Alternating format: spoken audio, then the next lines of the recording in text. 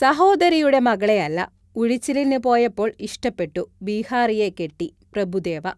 നടനും നർത്തകനുമായ സംവിധായകനാണ് പ്രഭുദേവ. അദ്ദേഹം വിവാഹിതനായിരിക്കുന്നു.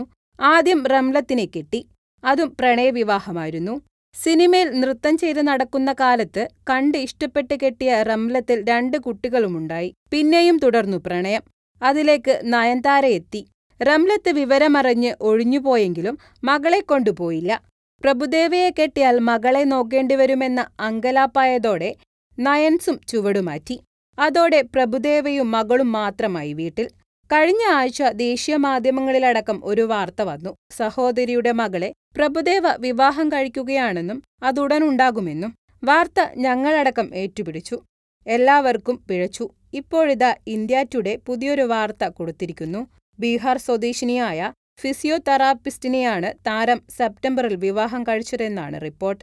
പുറംവേദന ചികിത്സ തേടിയപ്പോഴാണത്രേ പ്രഭുദേവ ഫിസിയോതെറാപ്പിസ്റ്റിനെ കണ്ടുമുട്ടുന്നത്. ആ സൗഹൃദം പ്രണയമായെന്നും തുടർന്ന് സെപ്റ്റംബറിൽ ഇരുവരും വിവാഹിതരായത്രേ.